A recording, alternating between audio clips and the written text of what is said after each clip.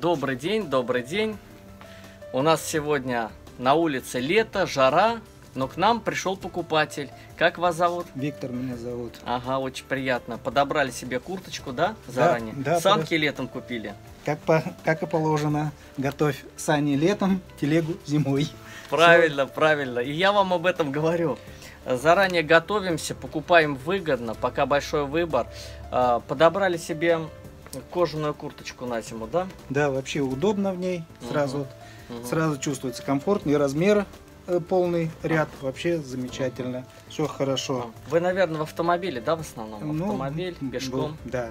Вот, ну, Вся практично прям такая мягкая и Мгм. уду- удобная. Очень даже удобная. Невзирая на то, что сейчас лето и в ней тепло.